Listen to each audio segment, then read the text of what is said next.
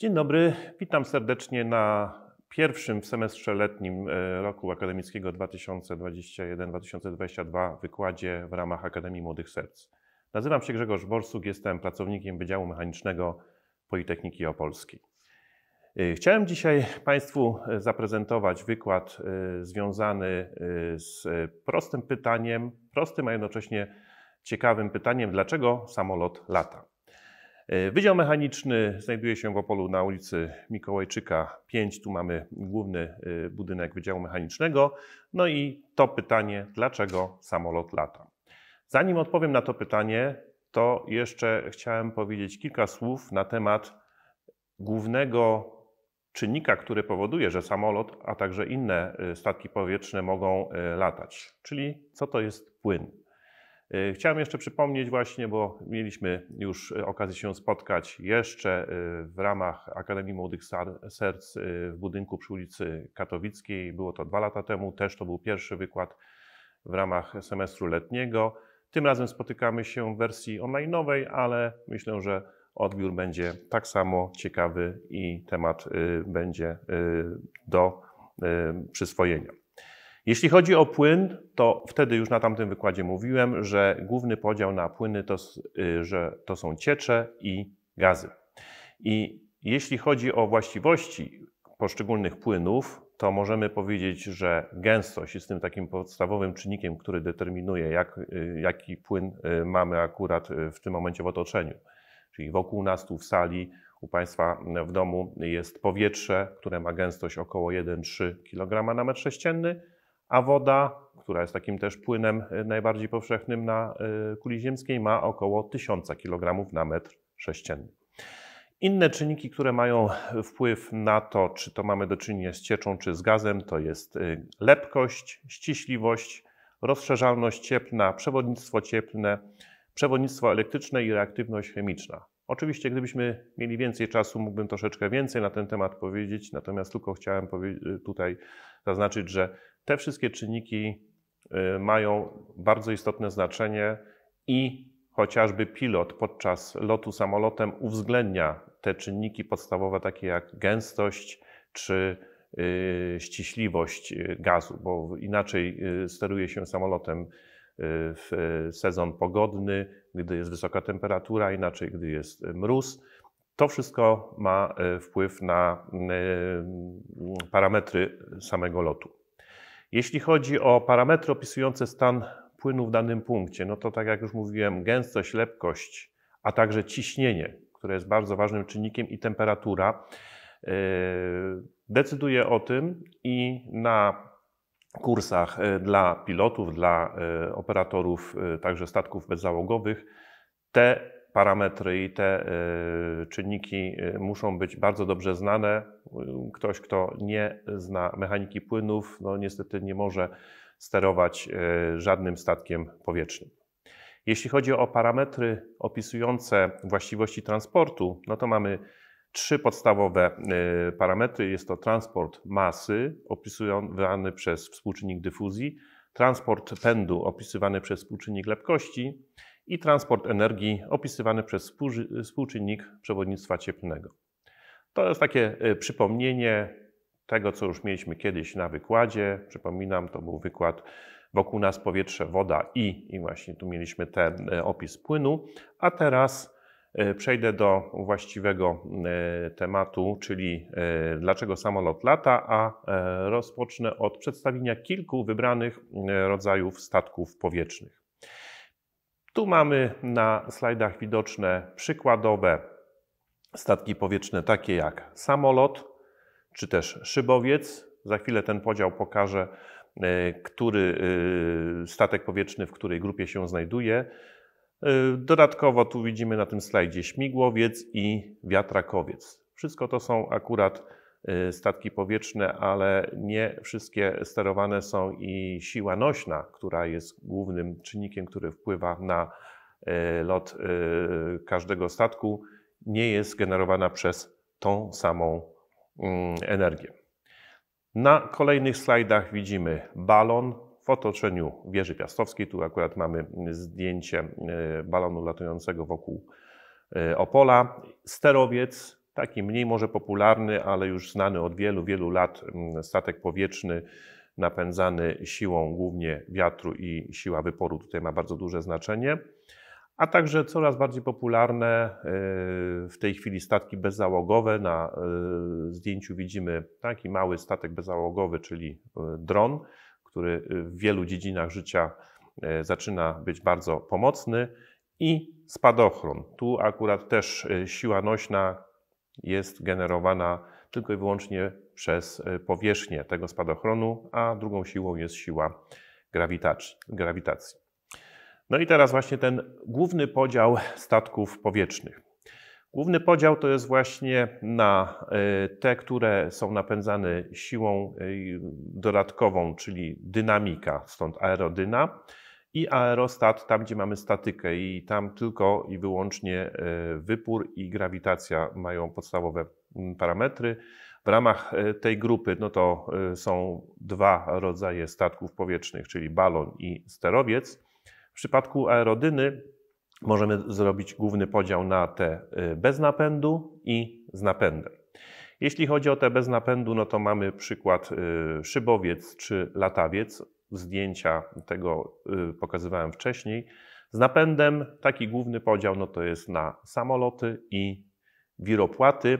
E, które możemy jeszcze podzielić, już taką podgrupę zrobić, e, cyklokopter, wiatrakowiec i śmigłowiec. Część z tych statków powietrznych pokazywałem wcześniej. Oczywiście można znaleźć wiele różnych rozwiązań, ale to jest taki główny podział statków powietrznych, czyli te napędzane siłą dynamiczną z napędem bądź bez napędu i te, które są napędzane tylko i wyłącznie siłą wyporu.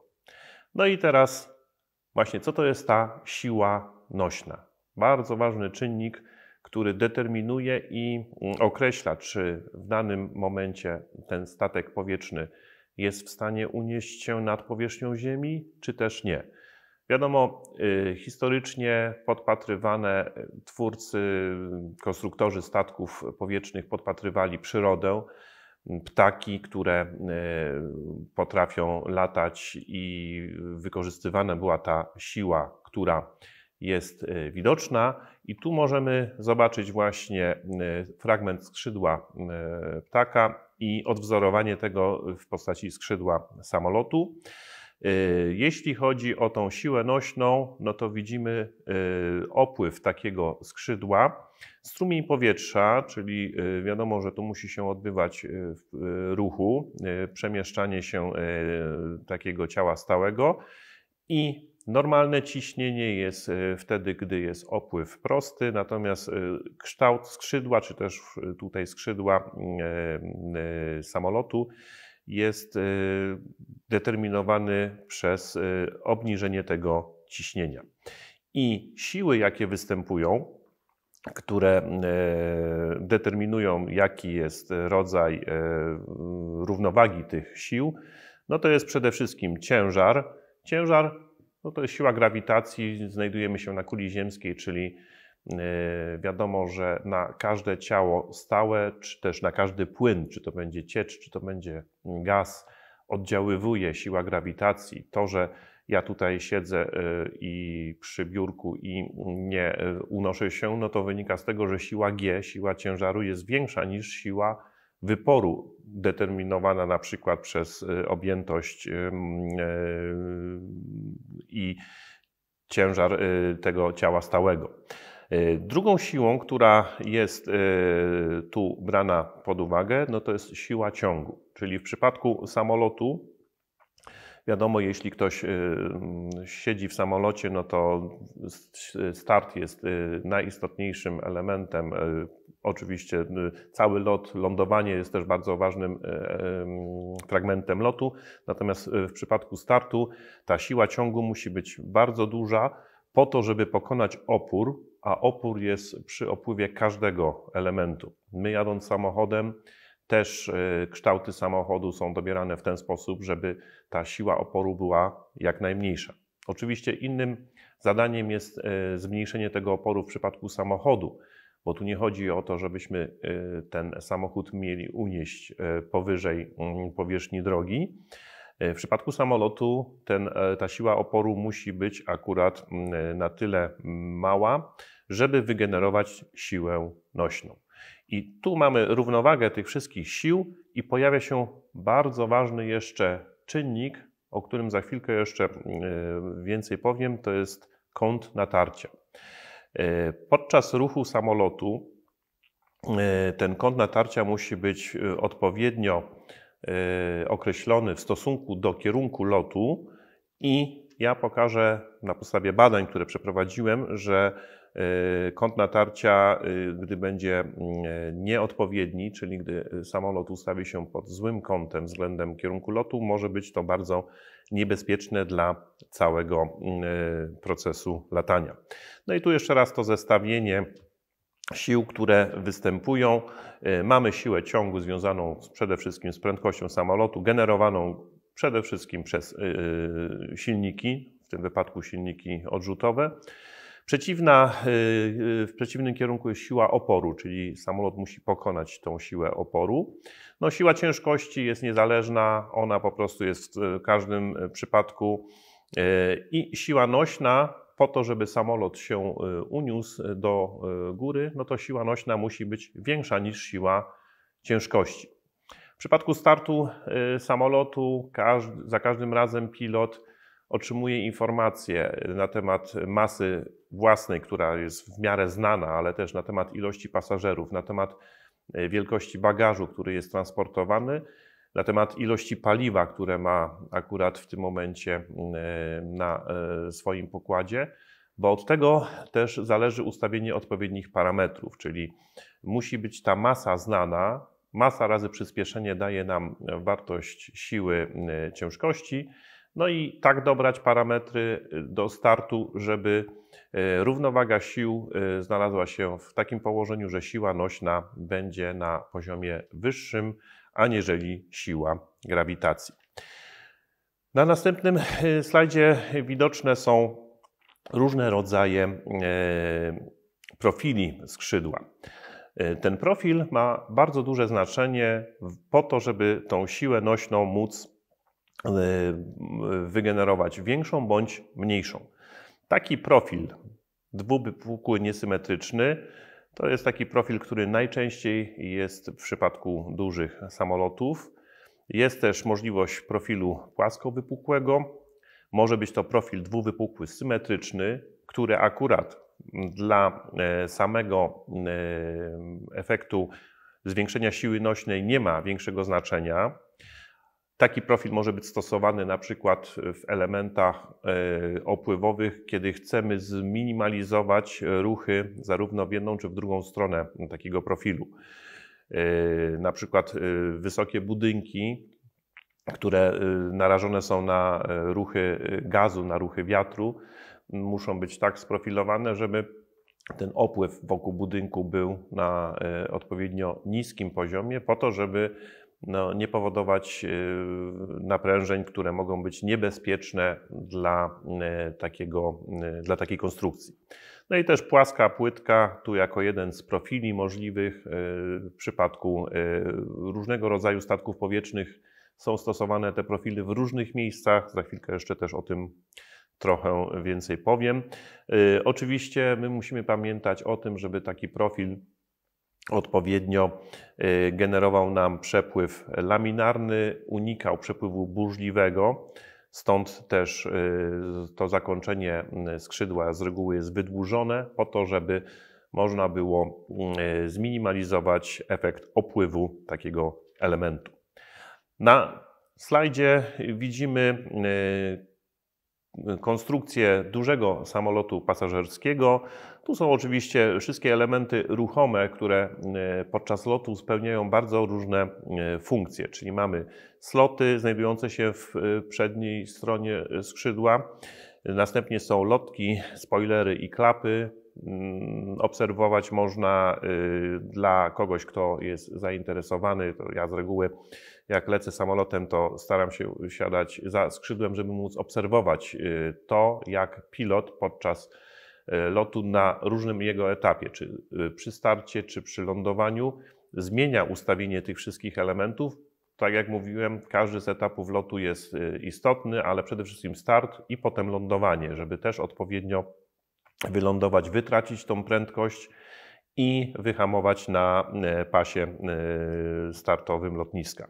Oczywiście mamy jeszcze e, na skrzydłach tych tylnych ster wysokości, czyli zmieniając kąt ustawienia steru możemy zwiększać bądź zmniejszać wysokość takiego samolotu. No i też jeszcze jest statecznik pionowy, statecznik kierunku, który pozwala nam na takie, kolokwialnie mówiąc, zakręcanie samolotu, czyli te wszystkie mm, elementy w poszczególnych fragmentach samolotu mają bardzo duże znaczenie. Dodatkowo jeszcze na końcówkach mm, skrzydła są tak zwane rozprzeszacze wirów brzegowych, też żeby minimalizować wpływ turbulencji. E, jeśli chodzi o siłę nośną na skrzydłach, oczywiście pamiętajmy, że siła nośna generowana jest głównie na skrzydłach i wielkość skrzydeł jest dostosowana do tego, jaka jest y, też masa takiego samolotu y, i ona y, może być regulowana przez kąt natarcia. O tym kącie natarcia za chwilkę jeszcze powiem. Tu widzimy różne fragmenty lotu, czyli przy starcie mamy wysunięte klapy, dzięki temu jest ten ta powierzchnia większa, czyli jesteśmy w stanie tą siłę nośną y, maksymalizować. Potem przy lądowaniu też te klapy się powoli wysuwają, potem jeszcze y, podnoszą się do góry już w momencie dotarcia do y, powierzchni ziemi, czyli gdy koła dotkną już pasu startowego lotniska, wtedy włącza się bardzo szybko system hamowania, wytracenia prędkości. Także mamy te akurat y, tu y, klapy, które się podnoszą w momencie hamowania. Oczywiście y, w wielu różnych innych momentach lotu są używane fragmenty hydrauliczne, które regulują wszystkimi tymi częściami samolotu. I tu mamy wybrane fragmenty też z takiej dużej konstrukcji. E, jednym z bardzo niebezpiecznych e, e, przeszkód, jedną z przeszkód są turbulencje pojawiające się podczas lotu samolotu. Jakie są przyczyny turbulencji? Często jest tak, że lecimy i pilot ostrzega, że proszę siadać, zapiąć pasy, ponieważ wchodzimy w strefę turbulencji. To pytanie, skąd pilot akurat lecąc wie, że akurat będziemy za chwilę w takiej strefie. Wynika to przede wszystkim z ruchów y, gazów, a pamiętajmy, że te y, gazy, powietrze y, no to są płyny o różnych parametrach, o różnych mm, temperaturach. W związku z tym, gdy spotkają się te czynniki, że są te warstwy powietrza o różnych temperaturach i mamy taki fragment na tej wysokości, gdzie akurat te turbulencje się mogą pojawić. Oczywiście Innym e, powodem mogą być przeszkody miejscowe, czyli na przykład wysokie góry, różna e, wysokość terenu też może wpłynąć na powstawanie takich wirów, takich turbulencji. No i też e, para wodna, chmury pojawiające się mogą też powodować te ruchy gazów, czyli ciepłe powietrze wznoszące się dochodzące do chmur, y, zamieniające się w, w parę wodną, w chmury, czyli w punkt rosy. Y, no i zimne powietrze opadające, które też może akurat być y, czynnikiem, który ułatwi tworzenie tych turbulencji, a chcemy unikać, stąd też podczas lotów piloci są specjalnie szkoleni, jak unikać stref, w których te turbulencje się pojawiają. Tu można po prostu na przykład zmienić wysokość przelotową, e, bądź po prostu przetrwać ten e, odcinek i lecieć dalej. E, teraz pokażę fragment badań, które przeprowadziłem za pomocą specjalnego oprogramowania do obliczeń numerycznych, w którym była obliczana siła nośna. Została wygenerowana geometria i siatka obliczeniowa, fragment skrzydła samolotu tutaj z korpusem. Jest to tylko wybrana część. Zajmowałem się skrzydłem, także tutaj nie mamy całego samolotu pokazanego. No i na tym slajdzie widoczne jest, jak wytwarza się siła nośna w zależności od kąta natarcia. Tu mamy pokazane wyniki od kąta minus 3, czyli ten samolot się kieruje tak jakby w dół. E, wtedy widzimy, że to podciśnienie wytwarza się pod skrzydłem, czyli jest to bardzo niekorzystne dla lotu samolotu, bo do, oprócz siły grawitacji jeszcze wytwarza się siła ciągnąca w dół, e, związana właśnie ze złym ustawieniem kąta natarcia.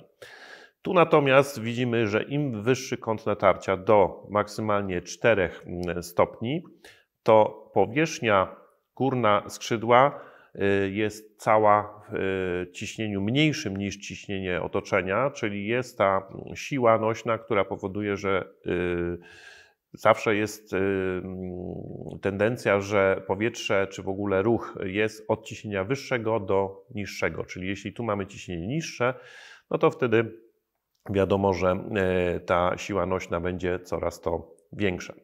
Tu jest e, większy zakres e, ciśnień. Widzimy tutaj rząd wielkości aż do minus 13 tysięcy paskali. To zakład wyniki tych badań.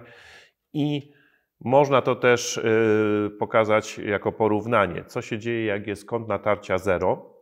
Wtedy w zasadzie opływ tego skrzydła jest bardzo symetryczny, czyli w zasadzie to ciśnienie nie generuje nam dodatkowej siły, tej siły nośnej. Jak kąt natarcia y, jest y, równy 4 stopnie, to w tym momencie widzimy to podciśnienie dosyć mocno się pojawia. Y, tu jeszcze dodatkowo widzimy, jak to wygląda w przypadku ujemnego kąta natarcia, czyli to jest akurat izolinia, która pokazuje powierzchnię o ciśnieniu minus 10 tysięcy paskali. Ten przypadek najmniej korzystny. Tu powoduje, że jest ta siła ciągnąca w dół, jeszcze dodatkowo do siły grawitacji. Tu mamy kąt natarcia 0 i kąty natarcia dodatnie. Tu widzimy od kąta 1 stopni do kąta 4 stopnie. Eee, przepraszam, to będzie tu. I tu widzimy najbardziej korzystny, czyli ta powierzchnia, w którym mamy ciśnienie yy, minus 10 tysięcy paskali jest dla skrzydła bardzo duża.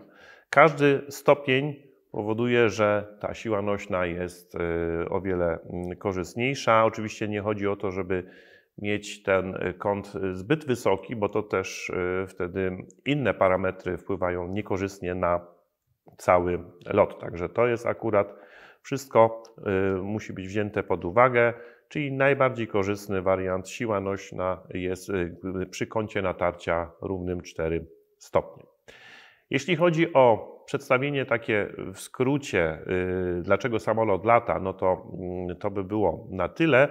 Teraz, y, jako taką ciekawostkę, bo tak jak mówiłem, podglądamy przyrodę, to chciałem zaprezentować mm, ranking najszybszych ptaków świata, czyli Najszybszym e, ptakiem e, znalazłem takie zestawienie. Jest to sokół wędrowny, który podczas lotu nurkowego jest w stanie e, lecieć z prędkością około 350 km na godzinę, a maksymalna prędkość, jaka została zarejestrowana, to jest 389 km na godzinę. Drugim, jeśli chodzi o szybkość lotu, to jest orzeł przedni. Y, który y, jest w stanie lecieć y, z prędkością do 320 km na godzinę, również podczas lotu nurkowego. Trzecim jest soku norweski, który ma prędkość już dużo, dużo mniejszą, bo tylko 209 km na godzinę. Tylko i aż, bo przypominam 200 km na godzinę, no to samochodem nie jesteśmy w stanie praktycznie tyle e, jechać. No i ciekawostka czwartym jest akurat bardzo malutki ptak, czyli jeżyk zwyczajny, który jest w stanie lecieć z prędkością nawet do 170 km na godzinę. I tu jest akurat taka e, ilustracja, która pokazuje, że e, taki jeżyk podczas lotu jest w stanie połykać pokarm, czyli łapie go otwierając szeroko dziób i w locie jest w stanie się pożywiać. Piąty w tym rankingu jest igłosternik Białogardy. Prędkość tu już jest mniejsza, bo 167 km na godzinę. No i tylko takie zestawienie już jako ciekawostkę. Szósty jest sokół leśny, następnie e, tu już są różnice prędkości dosyć niewielkie. Fregaty, e, gęsiec gambijski to już jest 142 km na godzinę. Gołąb pocztowy, też niewielki ptak, a e, może lecieć z prędkością nawet 140 km na godzinę. Następnie jest tracz długodzioby, jeżyk widłosterny, to jest inny gatunek jeżyka, 124 km na godzinę. Głowienka długodzioba 115 km na godzinę, erdeon zwyczajny 113 km na godzinę, cyraneczka 109 km na godzinę, albatros wędrowny, kaczka krzyżówka z prędkością e, jeszcze powyżej 100-105 km na godzinę, rożeniec zwyczajny też 105 km na godzinę i już poniżej 100 km na godzinę, ale ciągle duża prędkość, bo 98 e, km na godzinę to jest koliberek żarogłowy. To jest takie zestawienie.